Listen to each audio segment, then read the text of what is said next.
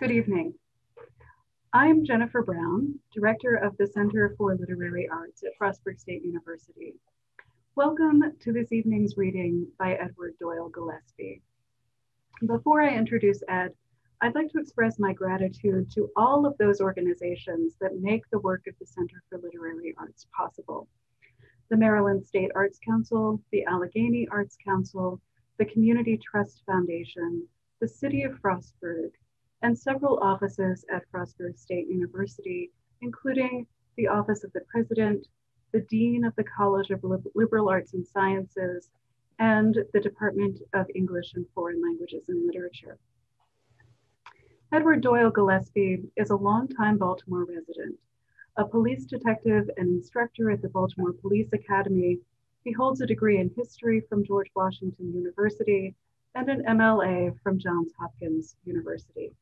He's the author of five books of poetry, one of which is forthcoming in February, and we're grateful to have him along with us tonight. Please join me in welcoming Edward Doyle Gillespie. Thank you so much. Thank you. I really appreciate being here. Um, I listened to everything you said going in. Just, I, I just, my heart kind of soars. This has been, this is very up, uplifting for me. This has all been, it's been a trying time for all of us. I know, and so um, literature is one of those things that now pulls me through. So thank you so much for having me here. Thank you. Um, so I, uh, I'm a big advocate I have to be honest, of the whole that whole idea of killing the author. You know, um, so you know, what does this story mean to you? What does this poem mean to you? You know, if you were to take out the author. So I did an experiment with my own work, and um, I said, so if I were uh, approaching my work as someone who is not me, um, what would I make of it? What would I think? And I was particularly interested in the issue of biography, first of all, and then that versus persona created by the poet. Uh, I think those are two of the most interesting dynamics that take place in literature. Uh, a lot of the poets that influence me um, do they influence me a lot because of that. I'm thinking particularly of Sylvia Plath um, and Anne Sexton. Uh, so I thought, okay, if I'm looking at the poetry of a police officer, what do I see that is directly like almost like a chronicle of what that officer has seen and done? And then where does that officer create persona? And then I looked at another, I kind of looked, thought of them as concentric circles as I get farther out. How does persona link to place in some ways? Because place is often very important for officers. Um, so I just kind of want to take us on a little journey with this. And I'm in doing that, I'm going to try to introduce you to some of the stuff that has been chronicled by this poet.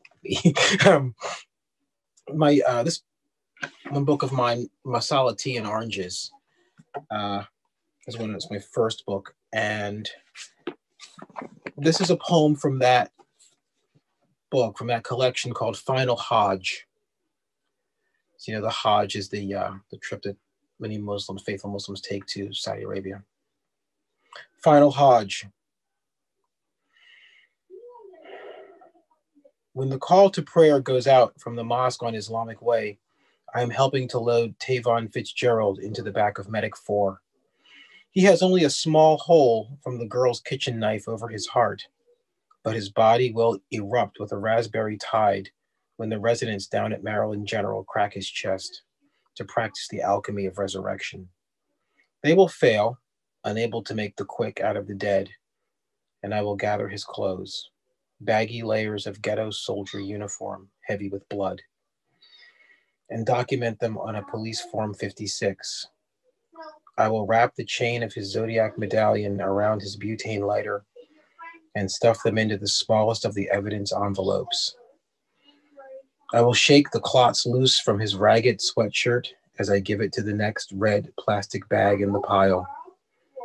I will change my gloves three times and wonder whether, he was distracted at that last moment by the loudspeaker reminding him that God is great.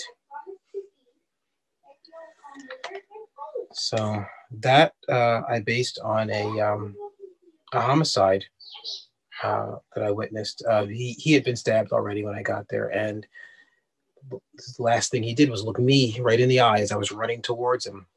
I was running, I was calling on my radio, and he looked me in the eye and took this terminal breath.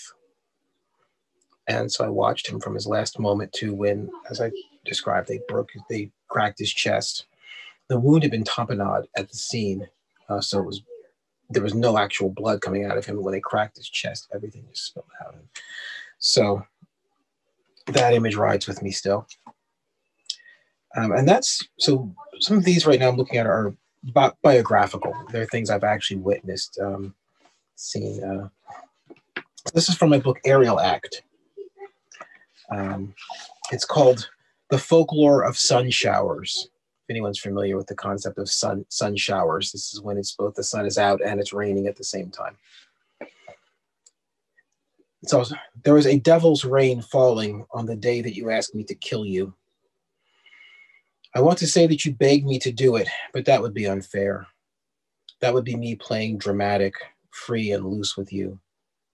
I want to say that you came to me on one supplicant knee, St. Francis of the alleyway, weary of your hypodermic stigmata, and that the only saving grace left in your world lay in the chamber of my automatic. But that would be a lie again. He spoke to me with the calm voice of a supplicant who realized, after this chase down the alleyway, he had grown ready e- enough to simply ask, Could you put one behind my ear, officer? Ain't nobody gonna care, officer. And the sun was shining, and I could see my re- reflection in the tribulation of the puddles. As a downpour drenched us both, fractured the sunlight, and threatened to wash this city away. That was one of two times someone asked me to kill them. Um, a person who was uh, struggling with drug addiction said, you know, no one's really going to care. You know, just do me a favor. Could you just execute me here? You know, and um, many officers become bereft of empathy um, because of the traumas that they experience.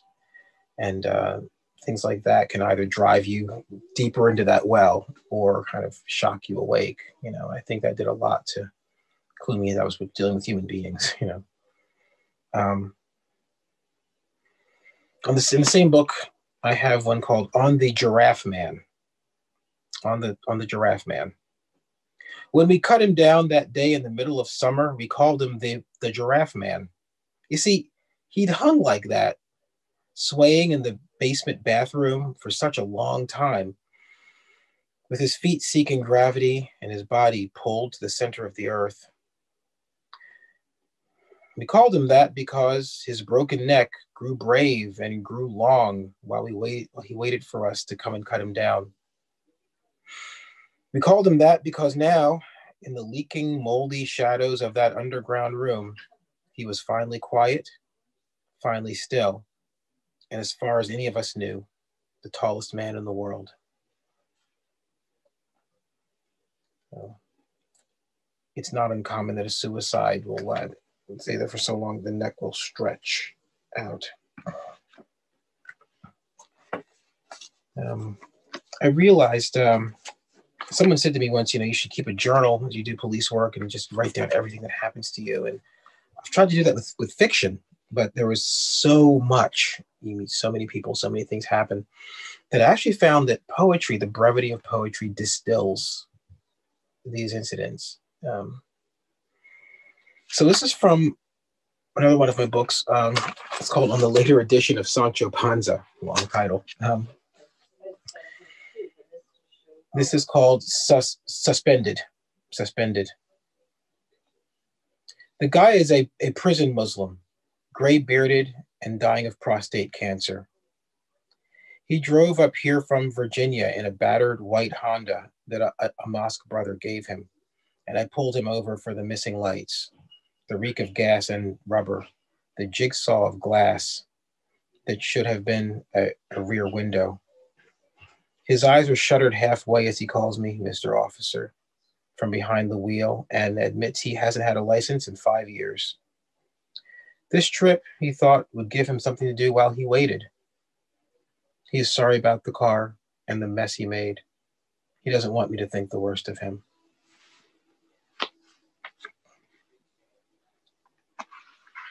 So looking at my biographical pieces, I realized um, they were cathartic and very therapeutic for me in terms of humanizing the experiences I was going through. Um, this um, is about a person who served as a confidential informant, actually. Um, it's called Jess. We are below the shattered row house, the creeping vine row house that keeps watch over North Avenue like an opiate mother nodding slowly, arching slowly over a newly empty crib. We are below the shattered row home that is turning green with that ivy urgently comes to live in the broken places of Penn North. And she is telling me that she can smell soul food from Mel's, can smell lake trout and white bread that soaks up the grease from a block away. This is the same row house shadow just days ago in which she talked about the old guy who asked how much he extra he had to pay to slap her, how much extra he had to pay to slap a white girl with his thick, crooked hand, because he wanted to see a good bruise, like an open palm signature that would swallow her whole face. And the redness is less now, and her hands are swollen now. She is asking me if I can smell the grease of the sizzling fish, and if I can hear the boys calling out a block away, and how long I think it will take for the verdant fingers to completely enshroud this empty, weeping house. Um, part of that too was about place. Obviously, it was about um, what I think has become a, almost a frontier, uh, and the ethic of people that live, many of the people that live there, trying to maintain a sense of humanity as they live in a place that's, in some cases, neither here nor there you know. Um, so in addition to looking at straightforward biography like this is the writer's experience where does that feed into persona they ask you know? I mean so you become an actor in a way when you write when you, you know a poet when you write um, so where do you create a character or a voice that's influenced by yours but not necessarily directly drawn from it? Um,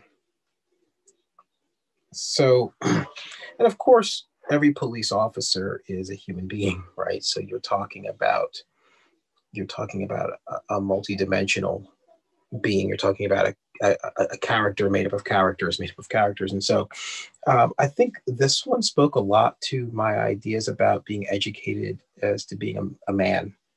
Um, this is called Queensberry Rules.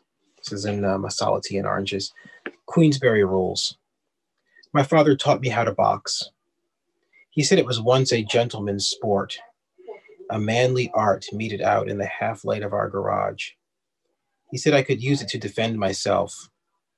I can still feel the cold burning in the back of my throat and my spit turning to a gray paste at the corners of my mouth as he showed me how to hammer a rhythm on the ragged cast off bag from the Druid Hill Avenue Y.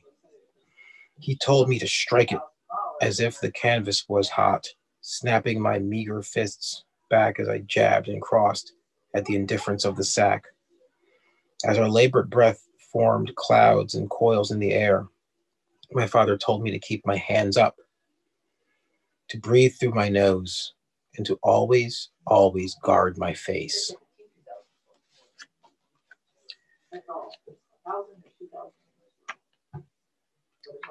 So I um my father didn't teach me how to box, but I do box.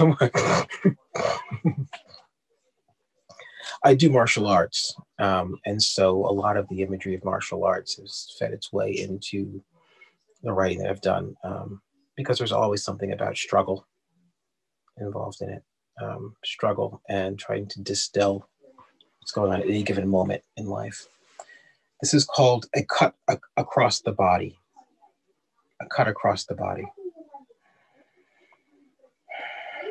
Now, while you sleep, I remember my first sensei telling me about how the prisoners of samurai, when it was clear that the gleaming steel of a new sword would be tested on them, would sometimes eat rocks, a, a stone or two, maybe a handful of gravel, just to damage the craftsman's work as it opened them up, just to ruin the soul of a perfect straight edge.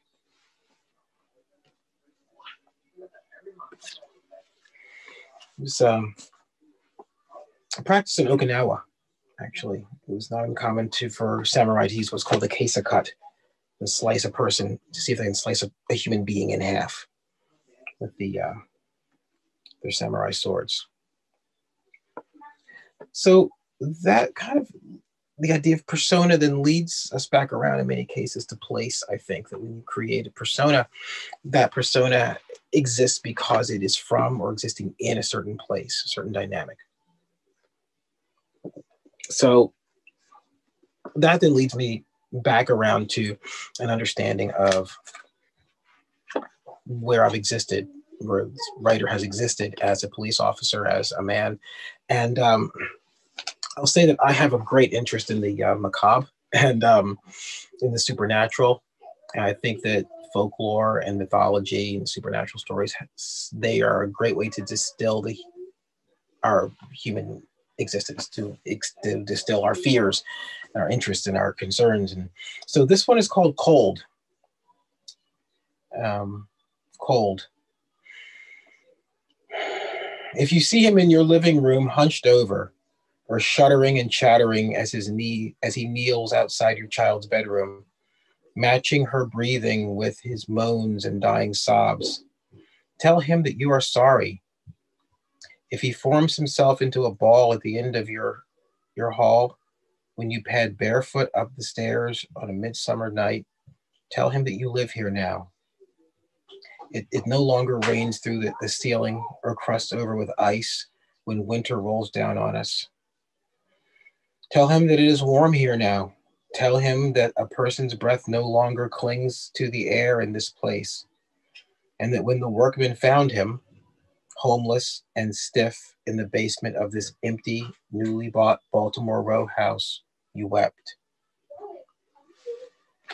Um, I've had more than one case, cases of homeless people being found um, frozen to death in um, the basements of homes that are being renovated. So what if they stayed around, right? Um, so another journey for me has been um, coming to realize, and this is not this is something that was kind of obfuscated in my family, that uh, we are actually of Cuban descent. That my grandfather was an immigrant from Cuba, and um, his name was Jorge. He changed it to George. His Manuel simply became an M.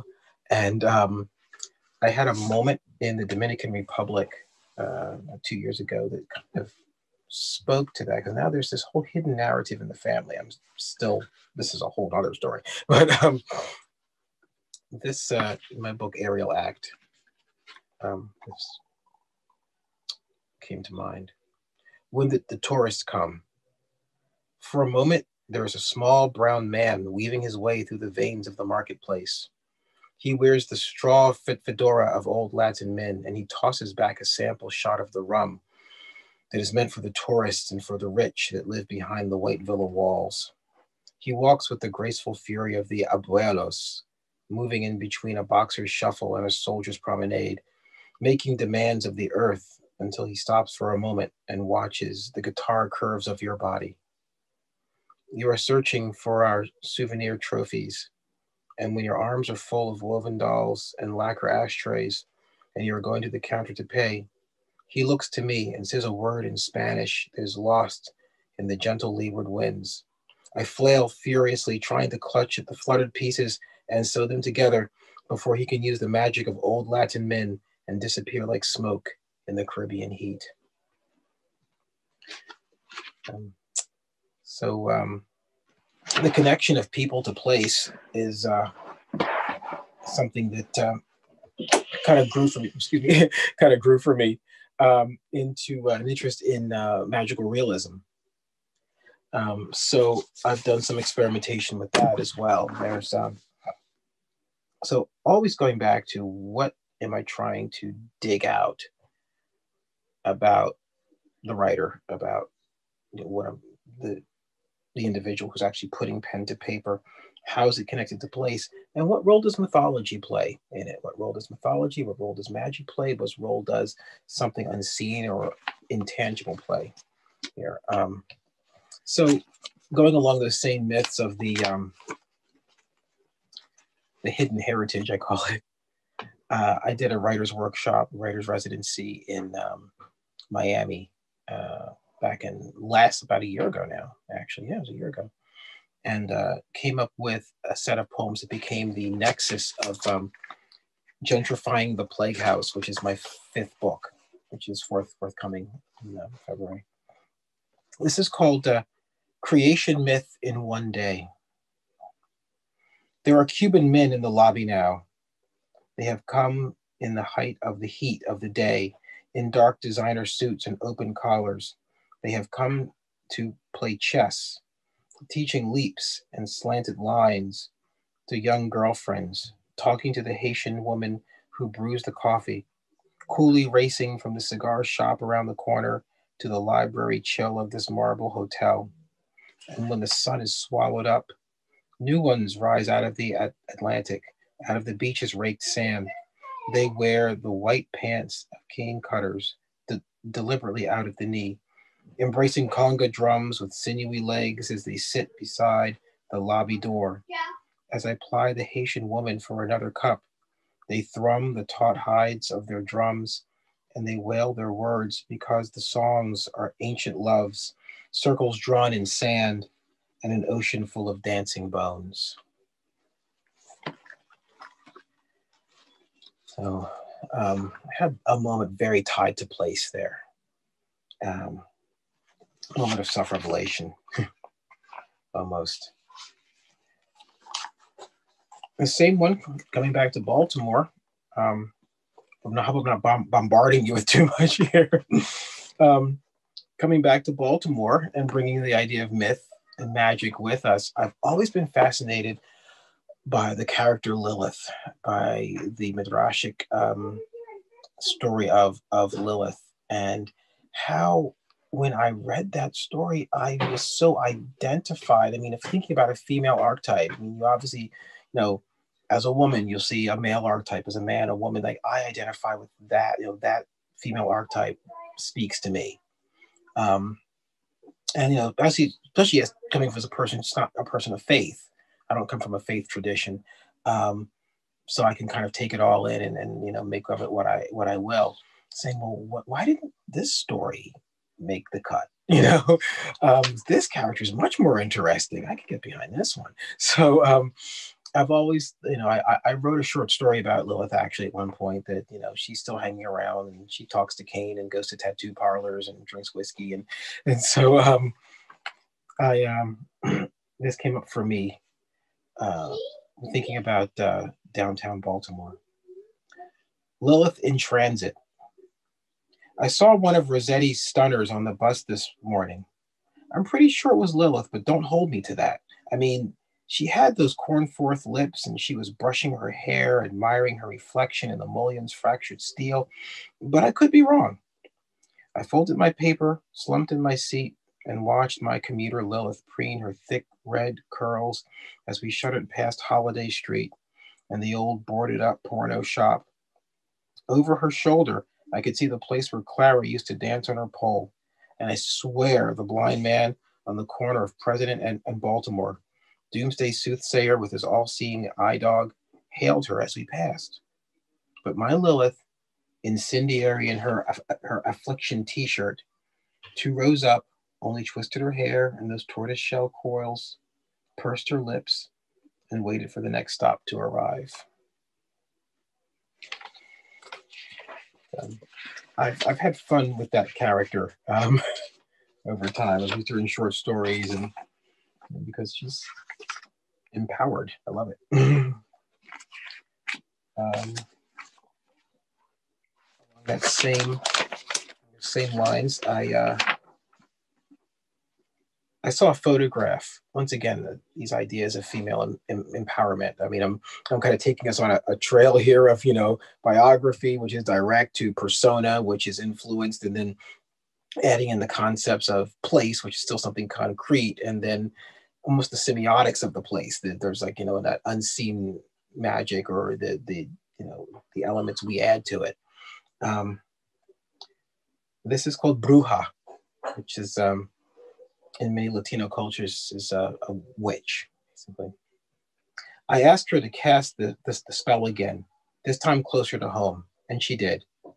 Instead of recreating the London bistro for me, she chose the abandoned storefront six blocks down, the one we passed during our Sunday walks. We heard it was a, a furniture store once, and then a place for Leviticus voodoo and holy roller magic. Now, bare metal tendrils reach down from the ceiling's dark gate, glistening, glinting at us through the fractured picture window. She, she closed her eyes, breathed in deep. She conjured a marble bar because I loved that so much the last time. The brass rails, the color of honey. She curved the night up like her in a red dress with curls sweeping and Satchmo's version of Mac the Knife piped in Deo, Deus Ex Machina. And me? For me, she materialized the smoldering body of a thick brown Cuban cigar between my index and middle fingers. She decided I would wear the same blue blazer, but my shirt would be open at the collar. As I blew life into the, the smolder and the reek, she leaned against the doorway behind me. She leaned like a teacher down beside me as the gloaming poured itself through the wide window, and she asked me whether this was exactly what I meant. We Often learn a lot about ourselves in these distilled moments. See, this is my place, this is my time, right? This is my energy. And I'm feeling a lot of that now with autumn being here. Like I I can kind of exist through summer, but autumn is where I really become expressive and really enjoy myself.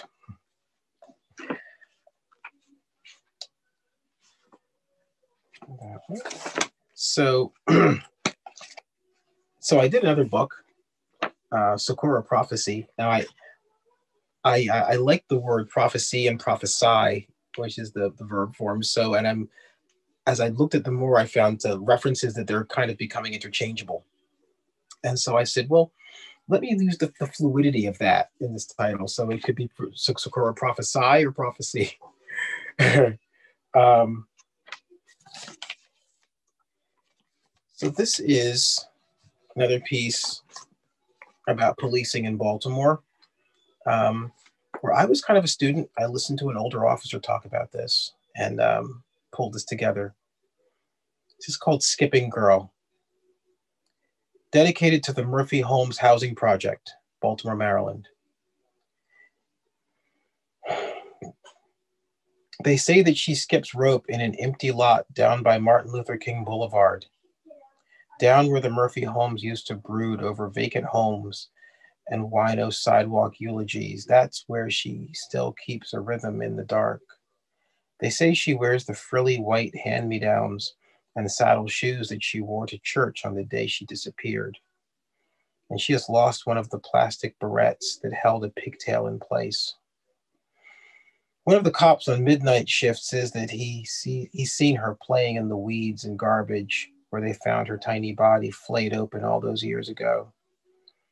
There's an old Arabber who says that his horse gets spooked down around there because she loved animals and still tries to stroke its hide and ring its bell.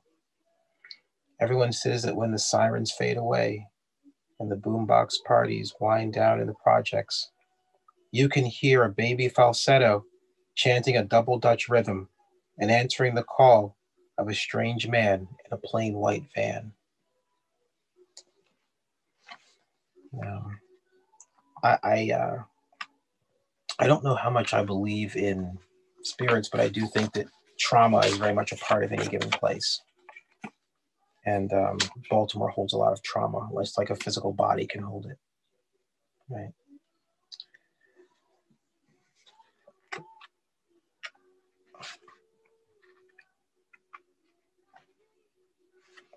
So likewise, I uh, thinking about persona at a place in time, how does any given place in time, as much as physical space, create that persona? All right. So would a character still be the same character in a different time? What you know, what is it about that pivotal moment that creates who that person is? Um, this is called Gabriel. A, a girl in third platoon had the phrase "God is my warrior" across her back in Hebrew. She was from Brooklyn, they said, and she had it done in the basement in a basement tattoo parlor while the smoke was still rising from ground zero.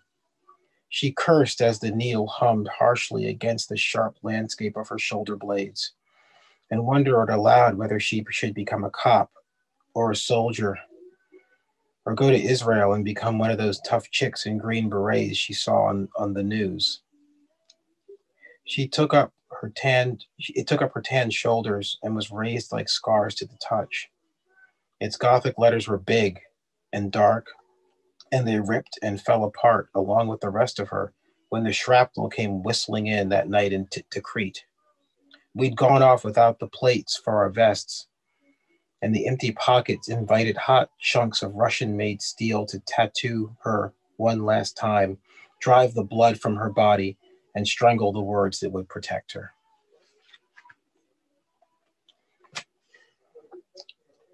Um, want to make sure I still leave some time for us to get some some right. Okay, great. Okay, some conversation. Great.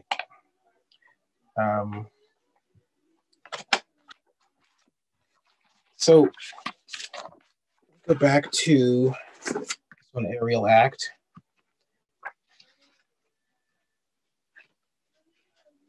And uh, this is called,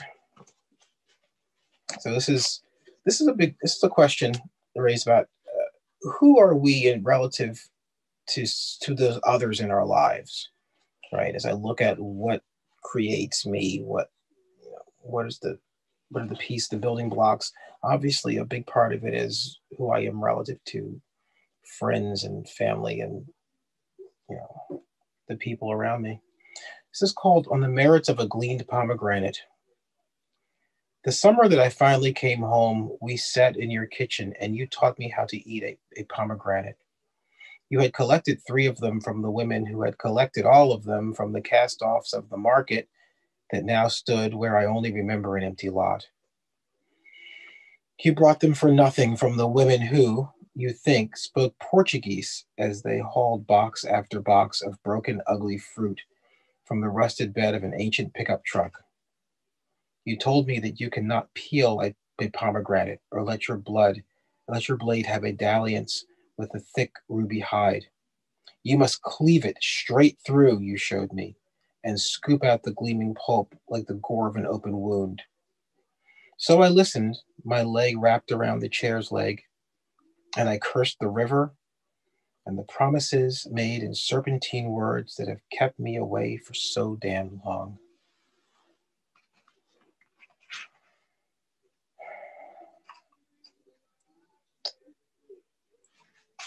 I think um,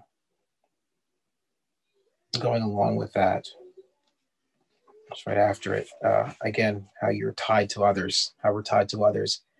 And um, this was uh, inspired by a friend of mine who had a double mastectomy. Um, and it was very interesting to me that she said, no, it's just time. It's time for me to do this so I can keep myself healthy. And so it's kind of fascinating to me. Um, of, of mortal scarring, I found you again on the cool side of my pillow, still bound like, Pro- like Prometheus to the mountain town. I pictured you taking a deep breath of the icy air that battered the steam of your coffee and pushed back the gray forelocks of your hair. Clouds rolled over the ragged ridgeline like punch drunk brawlers tumbling on the floor of the sawdust bar in the middle of, of town. And you told me that you wanted to road trip to the university hospital so many miles away. It was time, you said, because the women in your family no longer waited for the rebellious cells that ate your grandmothers and your great grandmothers alive. I flipped the pillow again, alone in my bed, to find you laughing that it was time to offer tributes to high priests with gleaming knives, that would cut you as clean as an Amazon who can fire her bow with either hand.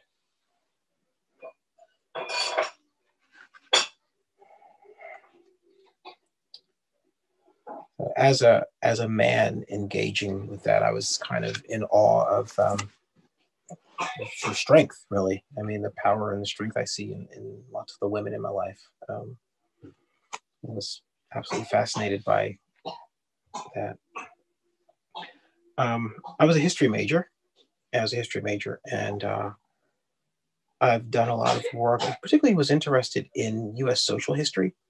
So I've done work on um, the civil rights movement and slavery and uh, the different social social strata, social dynamics that make up the United States. Um, I was always interested in the role of rivers in a lot of those social dynamics. Rivers as a means of escape, rivers as a means of punishment, rivers as a means of nourishment um, in the American South. And um, so I came up with this. The river had a, a, a part in it. The river had a part in it. The river introduced them one to the other. It took it took communion from them, took them apart as it would topsoil after a rain and washed their stories downstream. This was how they knew one another when the time for leaving came. This was how the one who had been broken with the axe handles, folded and packed away in the dirt of the earthen dam for speaking out of turn, heard the story of the child who was weighted down with a cotton gin wheel and tossed from a skiff the old men used for fishing. The river introduced them and was gracious and kind as it mingled them, because this was the South, and no one should travel alone through the weeping of the Gulf, the blindness of the mud, and out to the freedom of the ocean's salt. Um, I was particularly um, struck by the story of Emmett Till and the fact that his body was thrown into a, uh, a, uh, river and um, also Schwerner, Cheney and Goodman, and the fact that when uh, as they were searching for Schwerner, Cheney and Goodman, who were finally found in a riverbank in an embankment, I think like a dozen other people were found. A dozen other bodies were found uh, as they dug through riverbanks and, and streams and fields and things like that. There were murdered victims all over the place.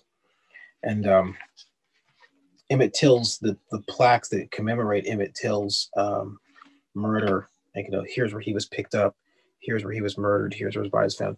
They're regularly shot up. Um, people regularly shoot them with assault rifles and um, shotguns and pistols.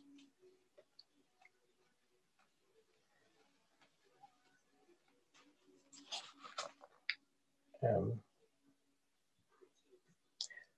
thinking in terms of how we're tied to others. I mean, these are, it's funny. Um, Barbara Kingsolver said that uh, every I, I, saw a talk with her, and she said every writer that you've been has a right to exist.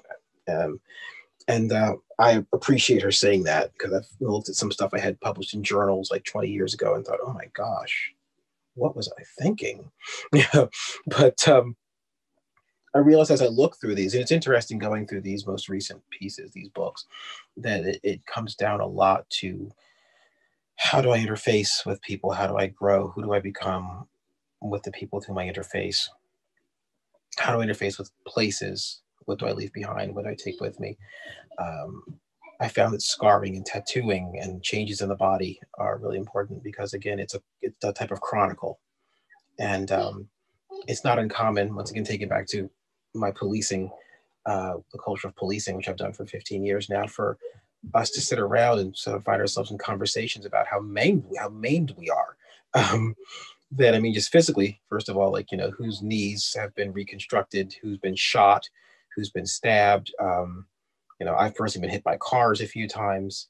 Didn't really care for that much, but um, I um, talked to an officer just uh, yesterday who had a tattoo that said "Not today" on it and had a date, and he said, "Yeah, that's the date I was shot." and he said that was I see it decided. He said I that was not the day I was going to die. Um, so I know officers carrying shrapnel and bullet wounds, bullets and things like that around in them, um, and that's so thinking a lot about what's written on the body gets me into a conversation, gets me into a narrative about how we relate, how I relate to my body, how I relate to those the bodies of the people around me, whether I expect them to be able to back me up with them or communicate with me um, with their bodies and things like that. So it's interesting that as a police officer can become very cold and very hardened, but at the same time, there's a certain intimacy that you you have. You know all of the wounds and the pain and the trauma that the other people around you carry in them. You know, when you arrest people, even you put your hands on them, you hold them, you cuff them, you, you know. Um, and so um, this uh, this comes up to you know when you get to that other side of your life and you're still relating to the body. It's called these these rites. In the morning, when you are draped across the bed, long, pale, black curls in a heap, white sheets almost disappearing into your flesh, I begin to read the places that I hadn't reached the night before. I taste your thigh, Botticelli thigh with freckles, your heels, the small of your back, the place behind your knee. I draw my forefinger's dented tip along the scars on your leg, the place where Gretchen Matthews slammed you with a rock in the seventh grade, and the stitches that ended your high school basketball career. I kiss the places where your open toed slingbacks rub you raw, making you hobble, twist, and curse in your treks across campus. I kiss the red lash marks left by the underwire of your bra. And maybe I'll light my last camel with these matches that you pocketed at the top of the World Cafe last night. I'll blow smoke across your body like an Amazon shaman in, in a healing rite, trying to cleanse you of your last lover the one that taught you Indrani, taught you the sporting of the sparrow, gave you your penchant for screaming, for biting, for cheap red wine in these sad, dark roadside motels.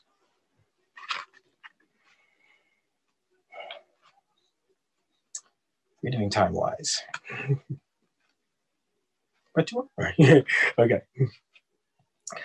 Um, so, uh, I've I'm surrounded by, like I said, a lot of traumatized people, people with narratives about conflict and war and violence written in their bodies. Make sure I'm still there. um, this is called the, the the the shrapnel men. The shrapnel men. While the Fourth of July finally died in our backyard that year, the shrapnel men gathered to drink below my mother's hanging garden. It had become dense, heavy nighttime, the air hazy with burnt out fireworks and the acrid leavings of a charcoal conflagration, and the shrapnel men were drinking. They were brown bottle men, matted to the darkness, who sank into ragged palms of backyard chairs and no, that no longer kept firm hold over curses and oaths made to Highland, Central Highland ghosts and I would listen, my back against the broken spine of our neighbor's wooden fence, knowing that the black, sizzled fat that clung to the grill would still be there next summer to season raw slabs of wounded flesh when the coals grew glowing hot and the sky was again on fire.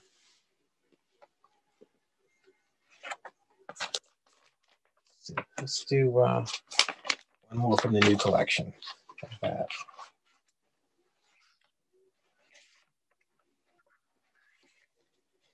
Right. So uh, I said I'm in kind of a cultural wrestling match with my family.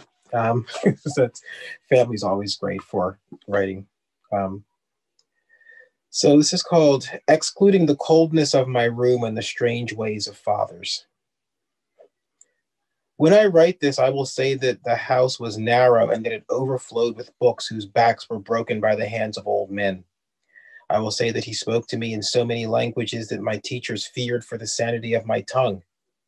In my story, you bickered with him using the immigrant mouths of our grandparents because the things of which you spoke were only the business of, of adults. I will write that you took me into the cauldron of our kitchen along with my sister and the aunties of your, your coven. Garlic would cleanse, I will say, you said, and red wine forgive if you forget to find it the coolest recesses of the house. I will write that you were working with the crank of an ancient grinder or even a mortar and, and pestle when you explained to me that, that paprika could be almost tasteless if done the wrong way. If you did not crush the right pepper in the right way, it would give you its color, maybe a trail of its scent. But when you went to meet it, its flavor would only be a ghost haunting whatever was meant to be your sustenance.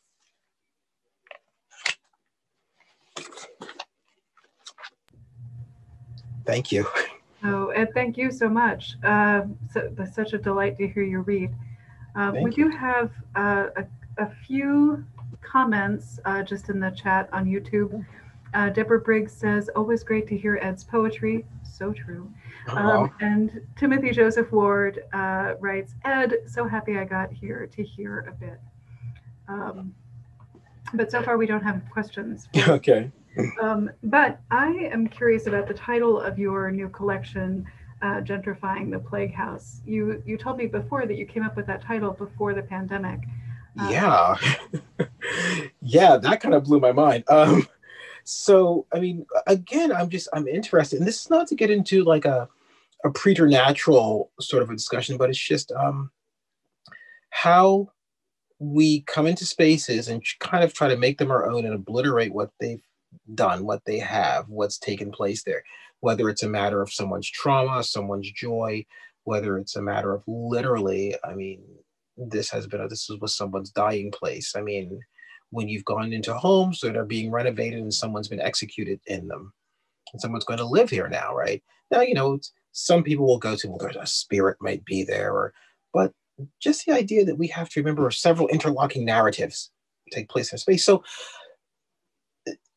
when we gentrify a space, and I mean, I think we always like to make that, well, you know, well-to-do white people coming into a neighborhood of color and taking over, but you know, gentrification can mean a lot of things. I think you know when you're changing one culture to another, and yeah, the the plague house. So I, I thought, like, so what if you know you had a space with the Spanish influenza, for instance, had taken place, and there was nothing joyful about this place, you know, when we go to gentrify it, when we go to bring our civilization into it, when we go to bring our thinking and our culture and our ways into it, do we remember what this place has meant? How do we incorporate what this place has meant? How do we honor it? It's it's almost like um, probably heard the cases of in New York at least at least once where you had a, a, skyscraper being built, and as they're digging the foundation, like, oh my gosh, they're bones. What's with all these bones? At first, they thought it was a mafia graveyard, and it turns out this was a slave burial ground. Okay, so even if you don't believe that there are spirits there or anything, it's like, how do we rehumanize ourselves and rehumanize our society by saying, you know what, let's not forget the horrible trauma that must have taken place here versus, hey, we got this great shiny new building, just get this stuff out of the way, you know. And yes, it was, I wrote it back in October. So, I mean, the coronavirus was somewhere in the peripheries of my, you know, thinking, and it was in Florida of all places, you know. Um, but yeah, it's it was it struck me um, a bit of serendipity there that yes, uh, my idea about and you know we have to think what will what will masks mean in the future? What will you know the word quarantine mean in the future? You know, I'm saying that my daughter's in Generation Zoom, so.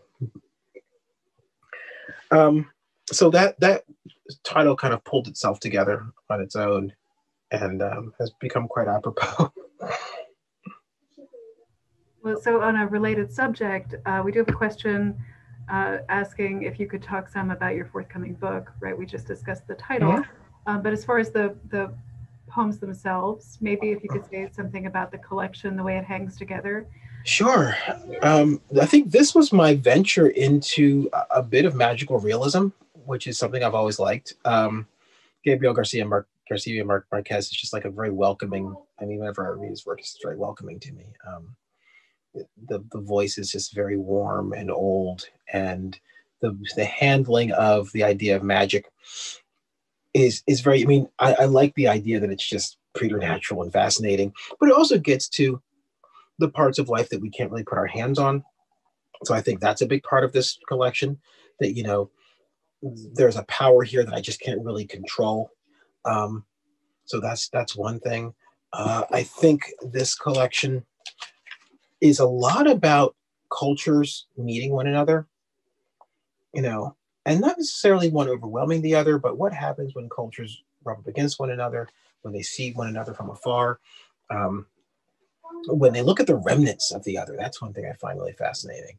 That when you look at, well, this is what's left of that culture, what's left of those people. Um, I think that comes up in it a lot.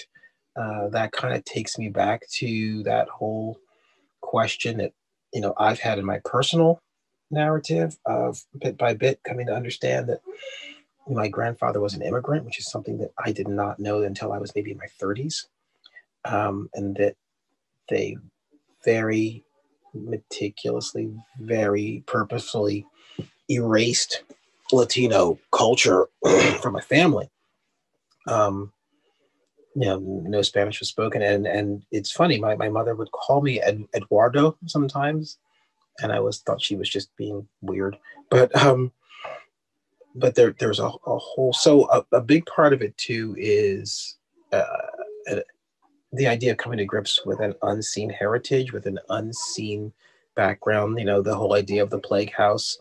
You know, okay, this is a house you can move into, but what's the heritage of this house? What's the heritage of this place? And what type of ownership do you have to take of that? Great, thank you. Uh, there mm-hmm. is uh, another question, um, again from uh, Timothy Joseph Ward. Uh, and the, the question is, did she ever get the Sancho Panza added? That's great. Well, I, would like to think so. I'd like to think she was very determined. So I'd like to think that she did go back with a handful of, of money that she made just to get that next tat, next, next part of the of the tattoo. Yes, I was I was I was rooting for her. Great. Um, well, and so I, I, suppose that's it for our questions. Um, and thank you again for being with thank us you. this evening. Uh, oh we're so God. grateful. Thank you so much. I thoroughly enjoyed it. This has been absolutely wonderful. Highlight of autumn. thank you so much.